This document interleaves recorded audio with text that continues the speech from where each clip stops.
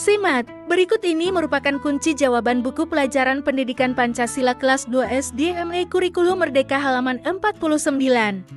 Dalam soal tersebut, siswa diminta menjawab pertanyaan yang telah terlampir. Kunci jawaban ini digunakan sebagai panduan dan pembanding oleh orang tua untuk mengoreksi pekerjaan anak. Jawablah pertanyaan di bawah ini. 1. Gambar manakah yang benar? Berikanlah alasannya. Jawaban Gambar A karena letak lambang Pancasila yang dipasang pada gambar A lebih tepat ketimbang gambar B. 2. Apa perbedaan gambar A dan B?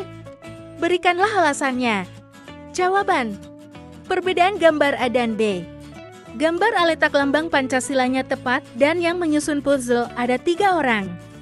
Gambar B letak lambang Pancasilanya tidak tepat dan yang menyusun puzzle hanya dua orang.